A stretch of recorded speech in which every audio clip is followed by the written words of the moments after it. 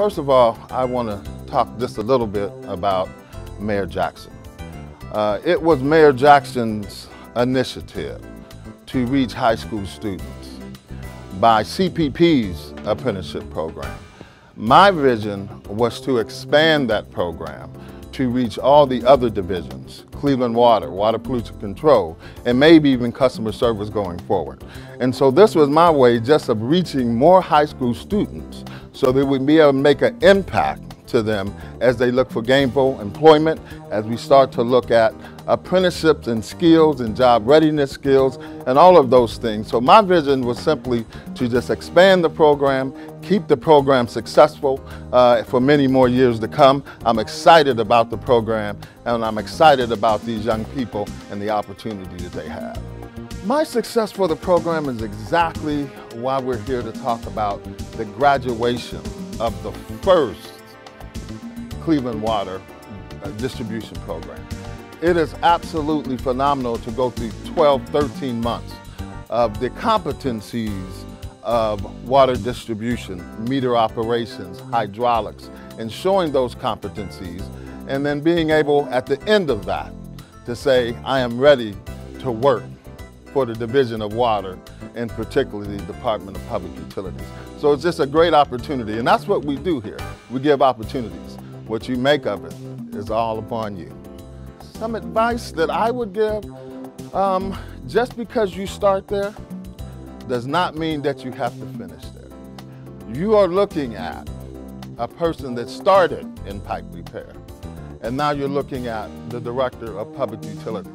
So what I want them to do is as the first class, that they have a responsibility, it's special to be the first class, because you're the first one to do it. But you also, it is also incumbent upon you to help others so that the program continues to be a success because you are the first, so you have a responsibility.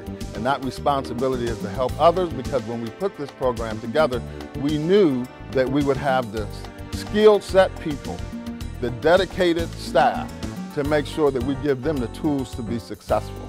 So I want to say congratulations uh, to you on a job well done. We certainly look forward to great things from you. Um, you get to make a difference. I want you to listen very closely, all my young people out there. You get to make a difference as it relates to the quality of life.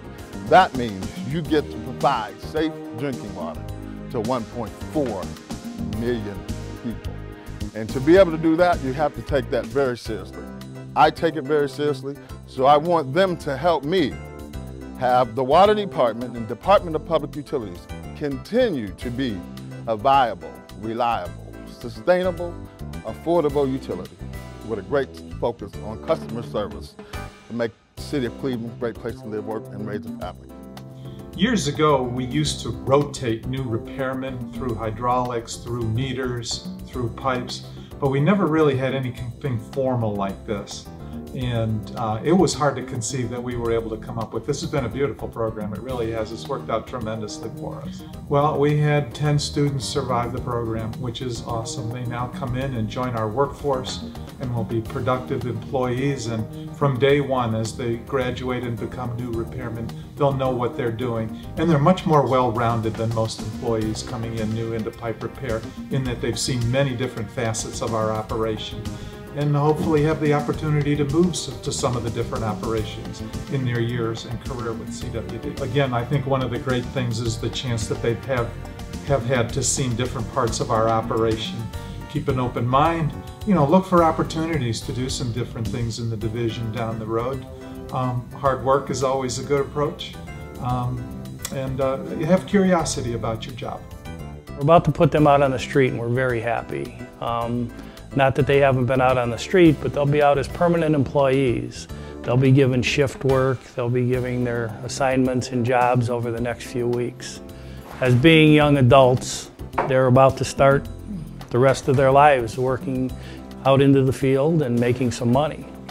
So the thing we try to make sure that they understand is you can do a lot of things here, especially having shift work.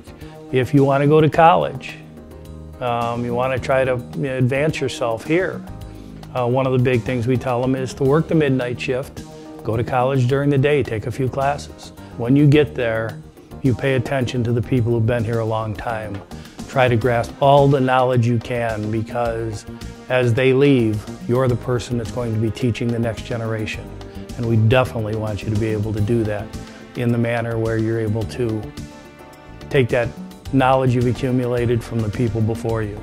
I was in another program called ACO through my school, and the man who ran it, Curtis Trust, recommended me to this program. From Glenville, I believe that me and one other person had finished it, so he felt like since we committed to that program, that we would do good in this program. Well, I was able to support myself, be more independent, buy my own things, and also support my family members and my mom and stuff.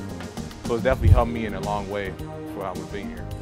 The apprenticeship program has impacted our operation as such that it has brought an infusion of youth to our section and they have more or less uh, inspired some of our older workers to work a little harder.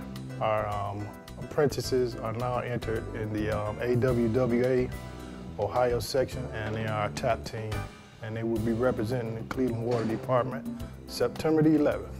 We tell our apprentices every day to um, just be on time, be courteous, and just work with a smile. I think my most memorable moment was uh, Carnita Williams. She was with the crew doing a chlorination. And there's a specific way we do it. We have to flush for so long, be able to get the chlorine down to one end of the main and it was funny because she was with two men who had done this before and had some really good experience. And for some reason they were just having a really hard time. But she was just going right at it. She was making her adjustments properly. And she really put some thought into it. And you could tell she was really into what she was doing. And in my mind that day she actually made those guys look kind of bad. I think the program in general is a success story.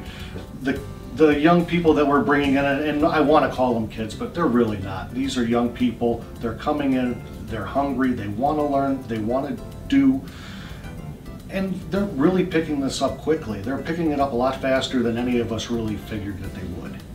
So I'm really excited to see the next round of candidates come in and and see where they come from because the first ones really set the bar. Come to work every day on time, keep your head down, plow forward, You'll be amazed at the opportunities that will be afforded to you if you stay with the Division of Water. Congratulations. I salute you. And again, you're looking at a pipe repairman to Director of Public Utilities. Your futures look bright. Thank you, Mayor Frank Jackson and Director Davis for this opportunity. Woo! Yes,